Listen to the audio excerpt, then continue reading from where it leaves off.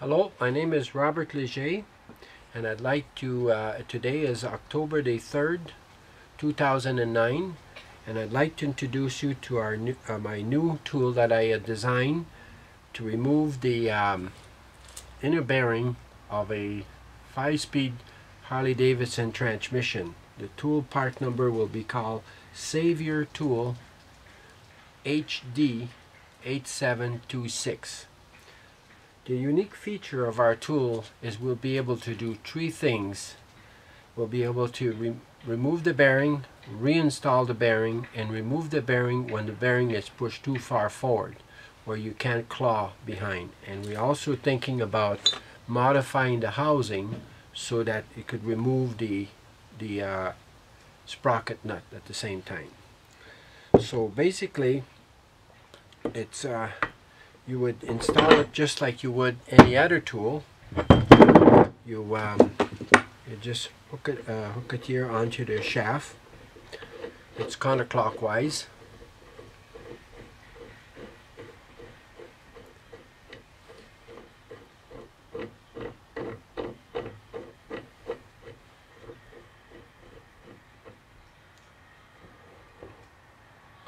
counterclockwise. Hope you can see that here. And this will be in two meshes. It, uh, and the nice feature here is when uh, when you install the tool, we'll have a preset. Will be preset to 100 thou. So because there's this is the tolerance here is supposed to be 100 thou, uh, recommended by Harley Davidson. So when you push the bearing in, you'll automatically get the 100 thou clearance that you need. You just you just put these two halves on, hold this on lay, and you will put this part here just to cover it, and then you'll just turn your nut, and you'll it'll pull the bearing out.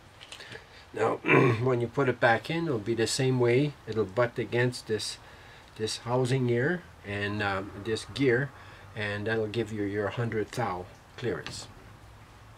Now in the event that your bearing is pushed too far forward uh, you will be using this tool here it's similar to the other one this claws the same way you'll be putting it over the uh, the bearing here and you will grind a small groove here to to uh, attach a uh, retainer ring this retainer ring will be fitting in this groove and the retainer will shoulder against tool.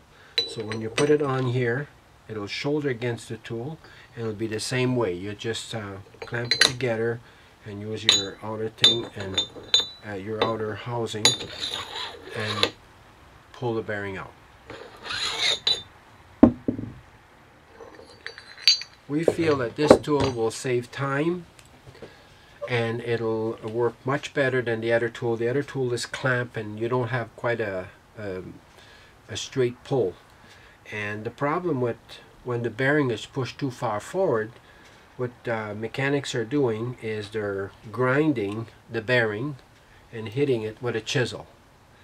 Or they're welding uh, a, a bead on here and they're welding a bead or a washer uh, but that's not a good idea either because uh, the um, electricity will will make the uh, will will arc the uh, gears and the bearing it'll burn all the bearings.